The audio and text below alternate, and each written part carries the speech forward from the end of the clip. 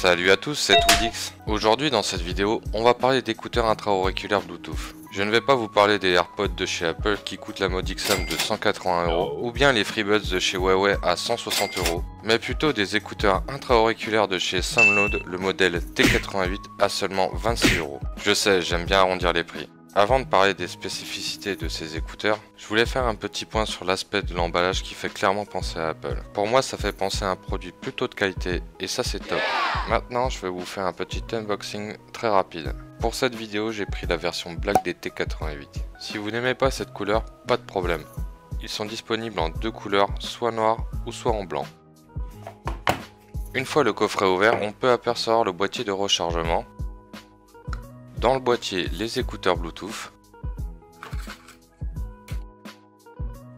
Ensuite, un câble de rechargement en USB vers micro USB. Un sachet plastique avec trois tailles différentes d'embouts en silicone. Et enfin, pour finir, un manuel en anglais et en chinois. Maintenant, on va pouvoir passer à la partie fiche technique de ces écouteurs.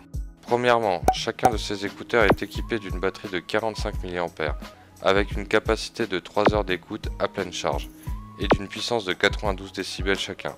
Les T800 sont équipés d'un Bluetooth 5.0 avec une connexion max de 10 mètres, ce qui est vraiment énorme. Ensuite, le boîtier de rechargement qui est en matière soft touch, plutôt agréable au toucher. Son poids 55 grammes est équipé d'une batterie de 450 mAh, capable de réaliser deux charges complètes. Maintenant, parlons du temps de rechargement. En ce qui concerne les écouteurs, comptez 30 minutes pour un chargement complet. Et pour le boîtier, sa recharge est d'une heure, grâce à sa prise en micro USB placée sur sa façade. Un dernier point sur l'autonomie. Afin d'éviter une usure prématurée des batteries, les écouteurs s'éteindront automatiquement au bout de 5 minutes si vous ne les utilisez pas. Passons maintenant à la partie contrôle de l'écoute. Premièrement, pour stopper la lecture, il suffit juste de faire un seul clic sur n'importe lequel des écouteurs. Ensuite, pour avancer et changer de musique, deux clics sur l'écouteur gauche représenté par un L est nécessaire. Et donc, pour revenir en arrière dans sa playlist, il suffira de faire deux clics sur l'écouteur de droite représenté par un R. Pour monter le volume, restez appuyé pendant quelques secondes sur l'écouteur droit. Et pour baisser le volume, appuyez sur l'écouteur gauche. Et maintenant, on va parler du contrôle des appels. Premièrement, parlons de la qualité des deux micros. Franchement, j'ai été carrément choqué par leur qualité de transmission, clairement au top. Mais revenons à ce qui nous intéresse, le contrôle des appels. Pour décrocher un appel, il suffit juste de faire un clic sur un des deux écouteurs. Pareil pour raccrocher l'appel, il suffira juste de faire un clic. Mon avis sur les prises d'appel avec les T88.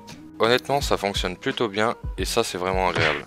Maintenant, passons à la partie utilisation des T88. Pour utiliser les écouteurs, rien de très compliqué. Ouvrez le boîtier et prenez n'importe quel écouteur.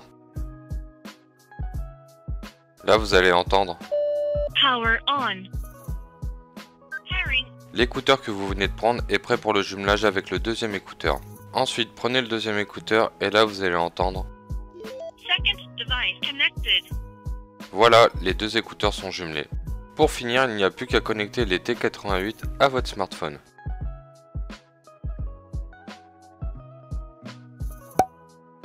Une fois connecté à votre téléphone, vous allez entendre.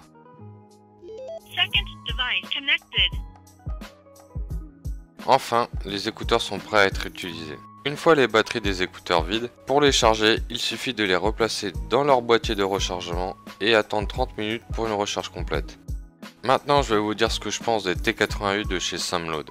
Les points positifs. Premièrement, ces écouteurs avec leur matière soft touch sont plutôt bien conçus et agréables à porter. Deuxièmement, la qualité du son est plutôt pas mal, même si pour moi il manque un peu de basse. Et troisièmement, la petite taille du boîtier, idéal pour le glisser dans une poche.